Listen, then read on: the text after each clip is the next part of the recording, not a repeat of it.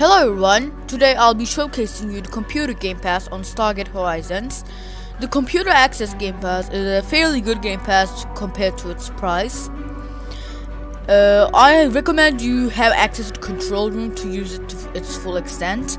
As you just saw, you just entered your uh, display name and your code, which is done automatically. We have 9 uh, screens and 2 tertiary information under them. The first screen is the base code. Base codes are used to uh, announce what is going on in the base. I will be leaving a document in the description to describe what each do. For example, the code 5 is the active combat. And some of them, like code 5 and code 9, occur automatically when there's like an event started. For, for example, if there's a rogue NID event, the code 9 there are rogue or compromised personnel is activated. The second code, second screen is the DEFCON screen. It's basically at the same on the commanding officer's tablet. You can change the DEFCONs from here. Advised there's a 40 second cooldown on both DEFCONs and base codes. Then we have security cameras. Uh, there are uh, there's a bug going on right now on uh, multiple servers that you cannot turn on the cameras.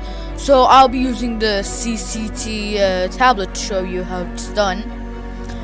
This is how it is. So for example, if I write camera 40, there are 40 cameras. As you can see, uh, I am in the power vault, minor bug. And when I press back to 1, there's the gate room. Now, if I go on to show the other part now.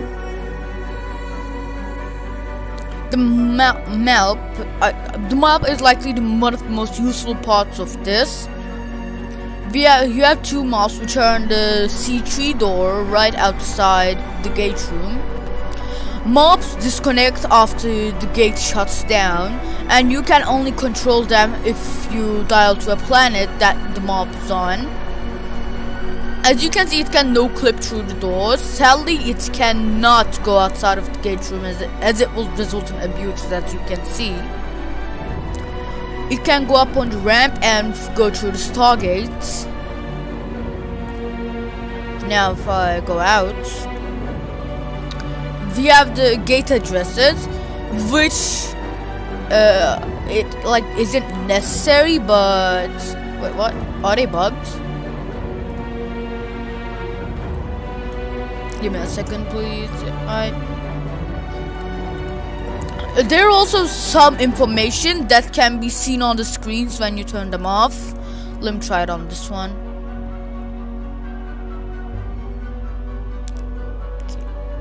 Yeah, now as you can see now there's the gate addresses. Normally it would show the gate addresses and you could scroll down on them. And another, now the next screen will be uh, uh, gate info, you can see which chevrons are locked. Chevron 1, there are 7 chevrons, but I mean there are 9 chevrons on this target, but the normal address is 7 chevrons, so.